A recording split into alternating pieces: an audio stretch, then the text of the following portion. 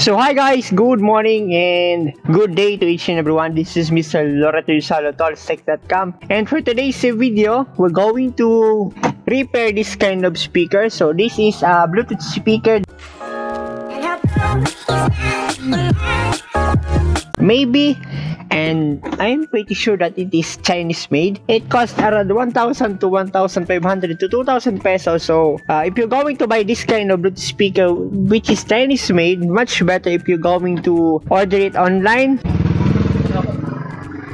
The charging port of this one is damaged because uh, the teacher is using it in school and as you can see it is uh, not working now. And tomorrow is they will going to have the meeting. And I think they were going to use this one. So that's why my wife gave it to me and said that I need to repair it.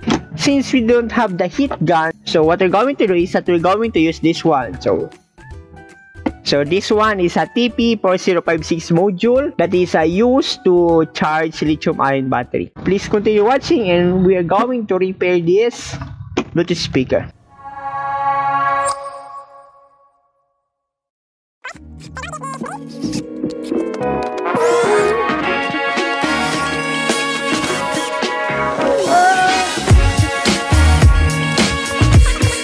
So as I open the Bluetooth speaker, I can see the circuitry. So this one is uh, commonly seen in different kind of Bluetooth speaker.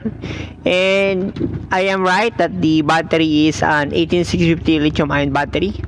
And what I'm going to do is that I will directly charge this one to the use through the use of this TP4056 module.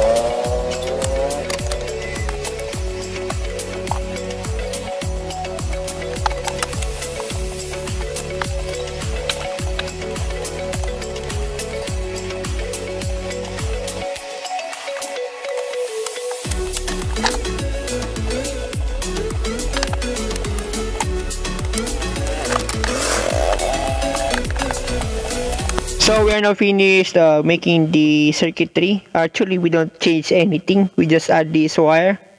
So this wire is connected directly to the positive and negative port of the battery.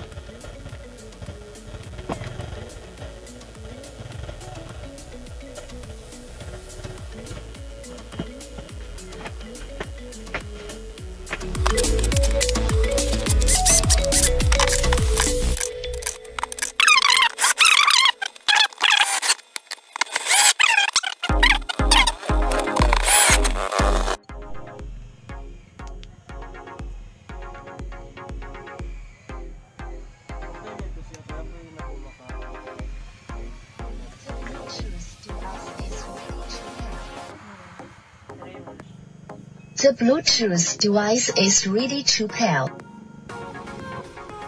Music. Line in.